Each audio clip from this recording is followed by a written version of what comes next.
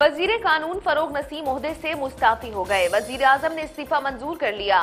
फरोग Naseem justice Qazi Faez Isa reference में विफाक के वकील के तौर पर पेश होंगे।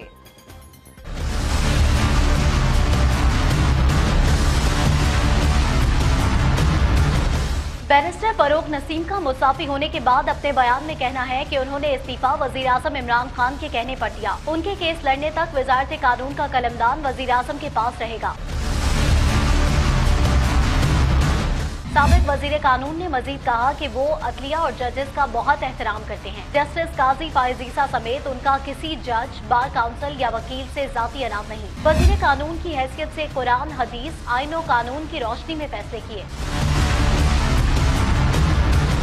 ख्याल रहे, जस्टिस काजी फायजीसा की जानब ऐसी सदारती रेफरेंस के खिलाफ नई दरखास्त सुप्रीम कोर्ट में जमा करवाई गई जिसमें सवाल किया गया कि क्या शहजाद अकबर ने अपने अहल खाना के असासे ज़ाहिर किए? शहजाद अकबर, फरोग नसीम और अनवर मंसूर खान ने बदनीति आरोप रेफरेंस तैयार किया। खुद मुख्तार बच्चों के असासों की तफसीत जमा कराना कानून में दर्ज नहीं।